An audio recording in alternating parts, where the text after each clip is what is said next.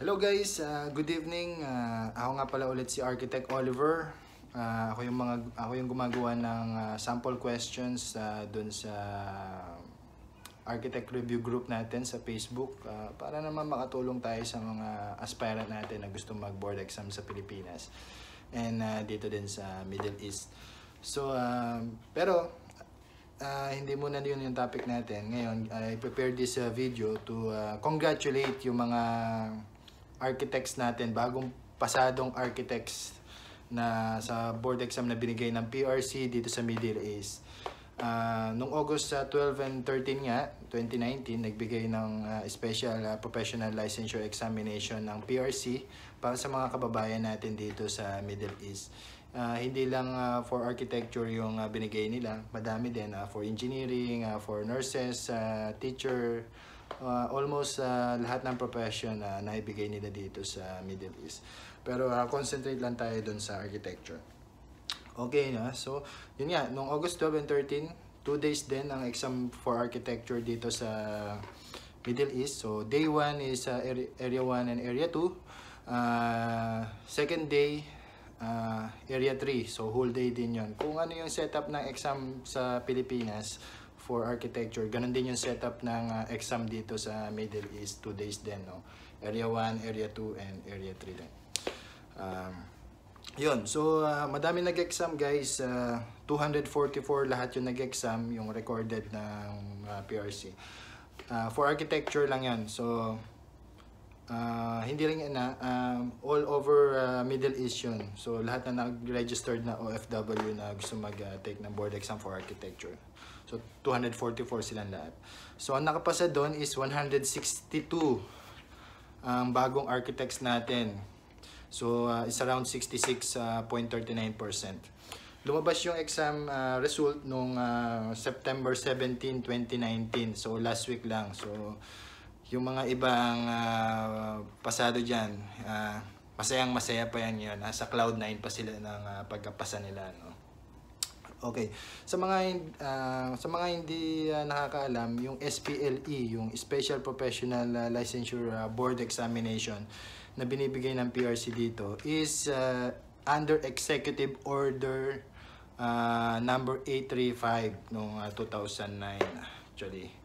Uh, pinirmahan siya ni uh, President Gloria Macapagal Arroyo para ano yun eh, uh, yung order na yun is directing the PRC and uh, other uh, government employee, uh, government offices uh, na mag-conduct ng uh, special professional licensure examination once a year dito sa Middle East.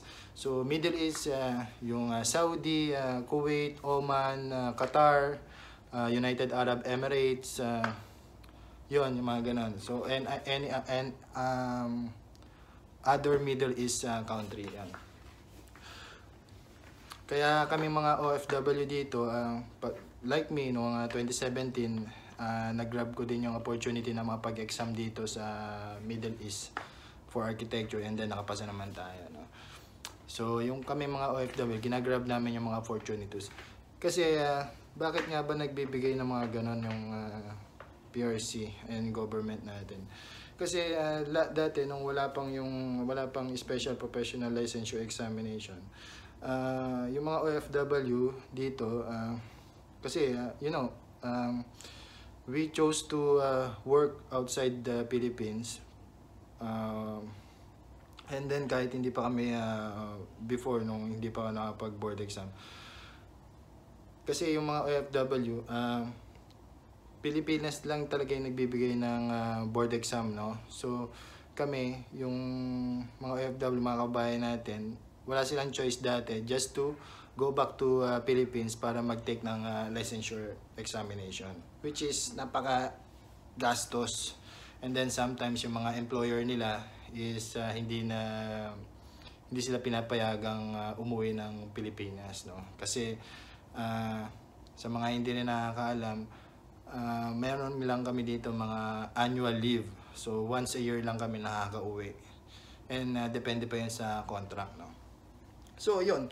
Balik tayo doon. So, nagbibigay, um, para ma-avoid yun, kasi na, napansin ng, ano, madami mga qualified na OFW na hindi pa license dito sa Middle East. So, ang ginawa, so yung PRC ang nagpupunta dito, they are giving a special uh, licensure examination and then uh, we are grabbing that. They are grabbing that uh, opportunity. No? Okay, so um, yun nga, so uh, congratulate natin yung mga um, pumasa. Okay? Pero syempre meron tayong mga top notchers, no? So basahin natin yung mga top notchers na um, uh, walo yung nag nag-top dito sa Middle East. Okay, so simulan natin sa top 8. Si Architect Joel Aquino Evangelista. Uh, school niya St. Louis College of San Fernando. 80% ang uh, grade niya. Congratulations. Uh, hindi ko alam actually nag-search ako. Hindi ko alam kung anong uh, anong part siya o saan siyang uh, Middle East country nag-exam, no? So again, uh, sa top 7 dalawang nag ano si uh, Architect Rosena Bashiba Quelisa Bautista from Technological University of the Philippines Manila 80.5 and uh, katay niya doon si Edwina Rose Garcia, Garcia Mahilum uh, from uh, Nueva Ecija University of Science and Technology Cabanatuan so 80.5 yung exam yung ano niya. And then guys, uh, na-research ko and then uh, itong uh, top 7 natin is galing siya ng uh, Dubai chapter. Dubai uh, Dubai UAE chapter. Okay, si James Patrick, architect James Patrick Angeles Pangan, top 6. Uh, school niya Don Honario Ventura Technological State University, 80.6. And uh, from Dubai chapter din siya, guys. From Dubai chapter. Um, top 5 si Architect Jeffrey Maun from Don Hinorio Benaventura Technological State University din, no? 81.1 and uh, nag-review siya sa Dubai chapter. Uh, top 4 si uh, Gerardo Reyes Pinson from St. Louis College of San Fernando 81.3 yung grade niya. Wow, congratulations. Uh, actually guys, uh, nag-research din ako about this guy.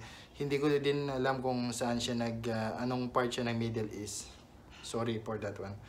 And uh, sa top 3, si uh, Architect Levi Giusen, Macalanda, Santiago.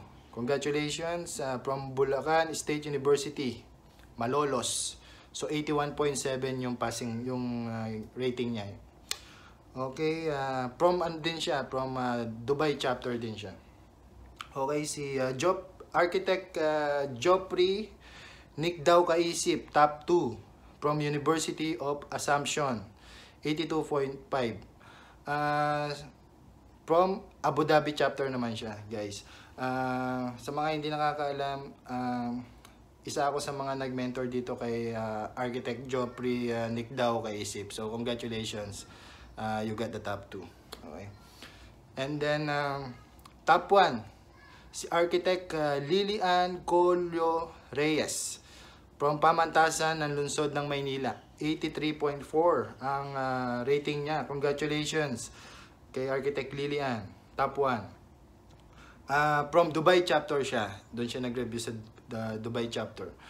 Uh, uh, guys, uh, Mabuhay ang uh, arkitektong uh, Pilipino nga pala, no?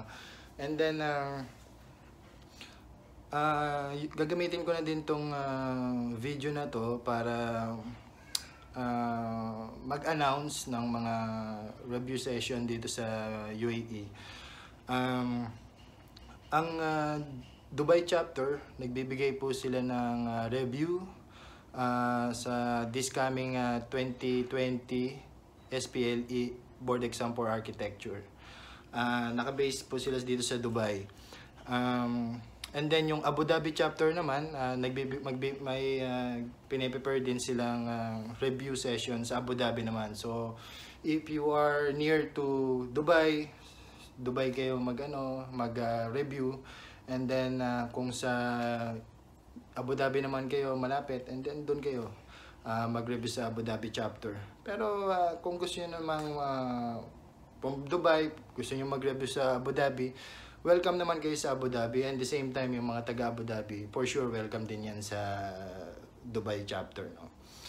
Um, we are conducting a review session uh, from uh, December 2019 until uh, I think July 2020. Dito kasi sa Middle East, uh, almost 8 months yung uh, review uh, preparation para dun sa board exam. Kasi uh, guys, yung mga OFW kasi dito sa Middle East, syempre OFW, may work. So mahirap pagsabayin kasi yung pag-work uh, nyo and then uh, pag-review din. So kami mga yung Dubai chapter and Abu Dhabi chapter, they are conducting a review every Friday kasi ang mid ang uh, work off dito, yung mga off ng mga OFW normally Friday. So uh, yun yung day na nagkakandak ng uh, review session ang uh, both chapter. Um, mahirap mag uh, mag-exam, mag-review actually. Kasi like what I said, yung mga OFW natin nagwo-work and uh, super work ano sila loaded sila sa mga uh, work nila sa office. Uh, almost na uh, inaabot sila talaga ng mga gabi madaling araw you know, you know typical uh, submittal um, ganyan. Nawawala ng time para makapag-review. So uh, di-discuss natin later on yung ano sa maybe uh, in the next video paano tayo uh, mag uh, mag-schedule ng uh, ng review para natin ma-handle yung mga mga pagre-review while we are working here sa Middle East no. So uh, yun guys, uh, kung uh, may pagka, gusto niyo mag-board exam dito sa Middle East sa UAE um, mag-comments lang mag-comment lang kayo diyan sa baba sa comment box and then I'm, I will try to help you to uh, to get uh, or to give you the direct uh, contact person para dun sa both chapter. Uh, Dubai chapter or Abu Dhabi chapter.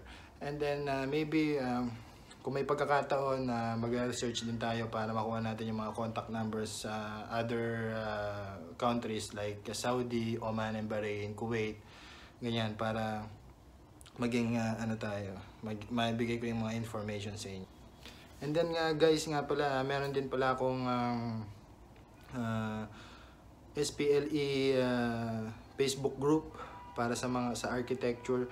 So kung uh, gusto niyo mag mag uh, mag-join din kayo dun sa group na 'yon kasi nag uh, nag uh, post din ako ng mga information questions uh, related din sa uh, board exam for architects and information about the exam for architecture lang ha, architecture lang for Middle East.